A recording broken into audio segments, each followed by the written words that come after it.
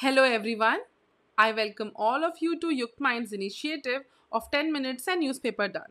Let us save your precious time and make your day productive by finishing the bulky newspaper in few minutes. Today is 18th May and we have selected 8 articles today for discussion. You can download the PDF of today's gist from our Telegram channel or website Daily Current Affairs tab. First news Health Ministry has written to all stakeholders to work towards plugging unnecessary hysterectomies performed by certain medical institutions. This comes after the Supreme Court's direction last month, where the states and union territories were instructed to implement health guidelines formulated by the center to monitor unnecessary hysterectomies within 3 months.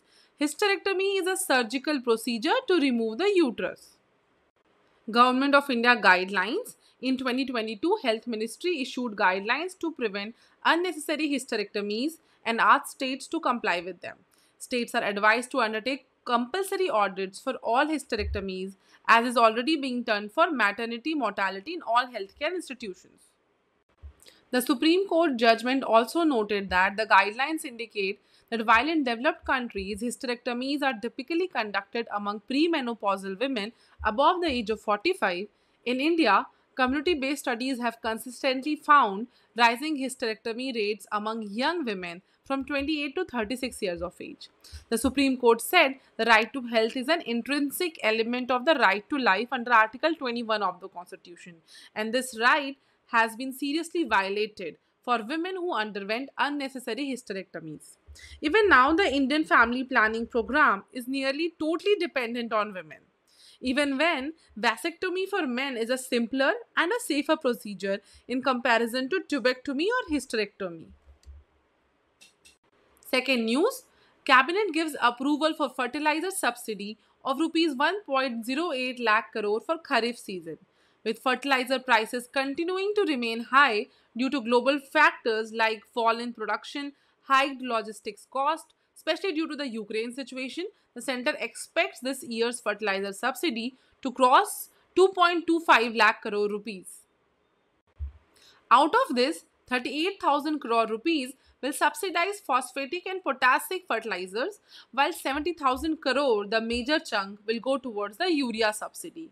There are basically three fertilizers in India urea, which is the major chunk, diammonium phosphate, and muriate of potash. Center would ensure that the prices of urea and diammonium phosphate would remain unchanged during the season. The decision will benefit about 12 crore farmers. In India, urea is the most produced, imported, consumed, and physically regulated fertilizer of all. As you can see, the total consumption of urea in the country is about 325 to 350 lakh tons and diammonium phosphate is 100 to 125 lakh tons and 50 to 60 lakh tons of muriate of potash. There are several issues in fertilizer subsidies like imbalance in price of fertilizers, nutrient imbalance instead of ideal ratio of NPK which is 4 is to 2 is to 1, subsidized urea getting diverted and also smuggled to neighboring countries like Bangladesh and Nepal. Third news, Hypertension to be tackled at primary health centers. The Union Health Ministry has launched an initiative on 17th May 2023, that is World Hypertension Day, to screen and place 75 million people with hypertension and diabetes by 2025. According to Government of India, the battle against non-communicable diseases must be fought at the primary healthcare level. India had developed a platform to fight the menace through the creation of more than 1.5 lakh health and wellness centers, and operationalization of telemedicine and digital health services. You can use this point in health topic in GS paper 2. Fourth news, anti-defection law. The Supreme Court in recent Delhi government judgment stated that parliamentary democracy implied a government accountable to the people. The judgment explains that this entails a triple chain of command. First chain, civil service officers are accountable to ministers. Then ministers are accountable to the legislature. And finally, the legislature is accountable to the electorate via elections. The severance of any link of this triple chain would be antithetical to parliamentary democracy, which is a basic feature of our constitution. The Supreme Court in Maharashtra judgment ruled that the 10th schedule makes a differentiation between the legislature party and the political party. The legislature party includes all MLAs MPs belonging to the political party.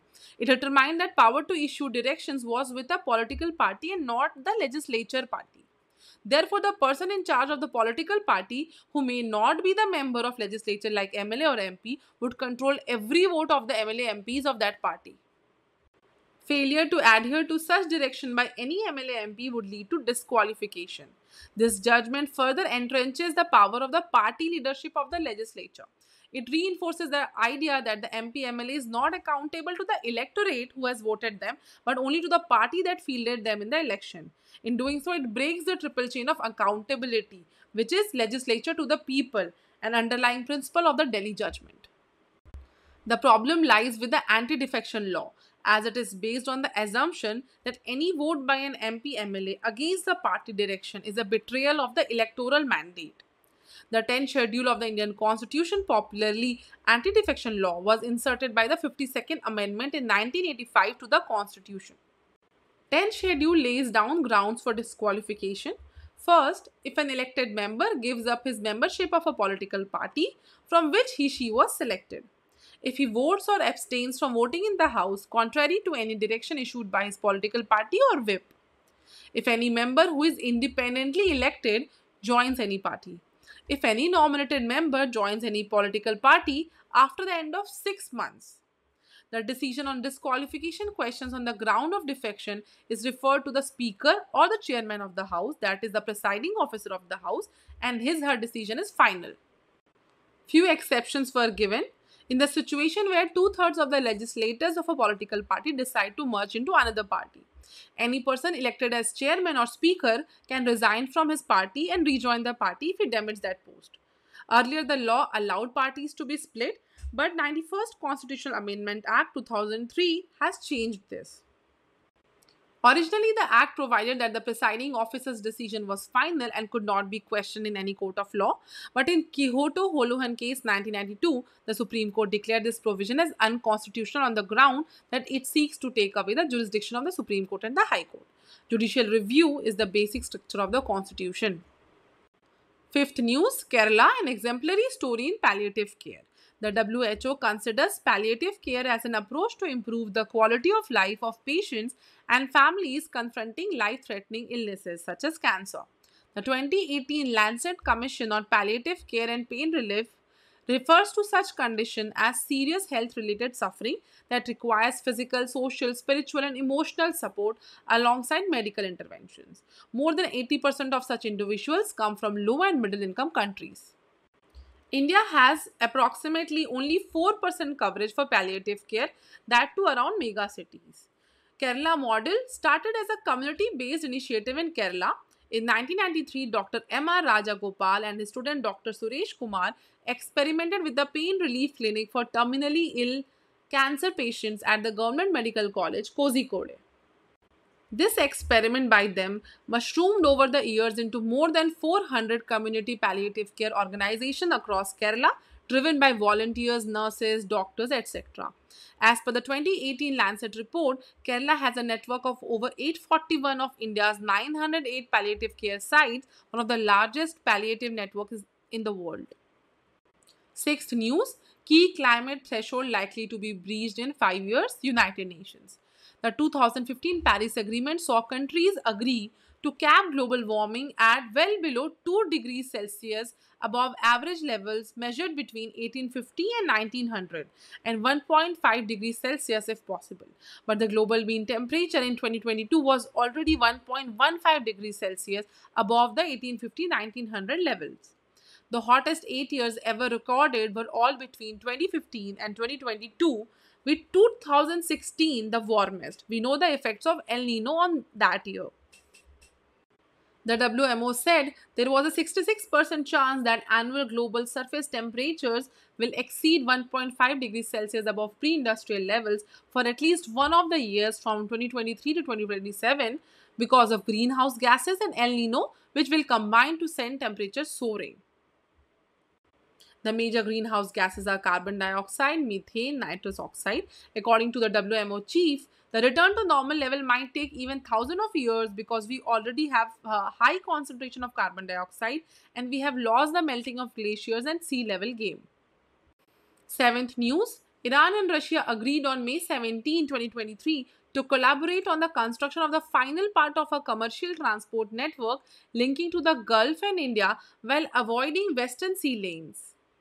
It is the only missing link in the international north-south transport corridor from northeast Russia by Azerbaijan to Iran's southern coastline and onto India by sea. The freight network of ship, rail and road routes, which covers some 7200 kilometers, avoids the Suez Canal between the Mediterranean and the Red Sea. International North-South Transport Corridor the legal framework for the INSTC is provided by a trilateral agreement signed by India, Iran and Russia at the Euro-Asian Conference on Transport in 2000. It is a 7200 km multimodal transport corridor that combines road, rail and maritime routes connecting Russia and India via Central Asia and Iran. It links the Indian Ocean to the Caspian Sea via the Persian Gulf onwards into Russia and Northern Europe. It offers the shortest connectivity route between India and Russia. You can have a look at the diagram in which route is going from India to Bandar Abbas port at Persian Gulf, to Baku at Caspian Sea, then Moscow and St. Petersburg in northern Russia.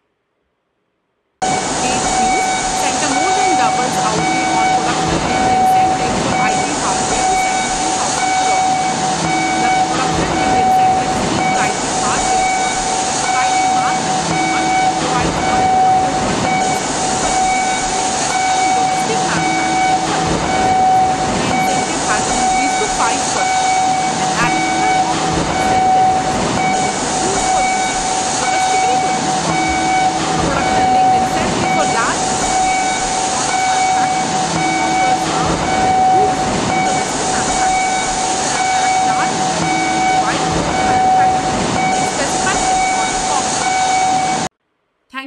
watching. Let us know your feedback in the comments. Keep visiting our website, Telegram, Instagram and Twitter handles.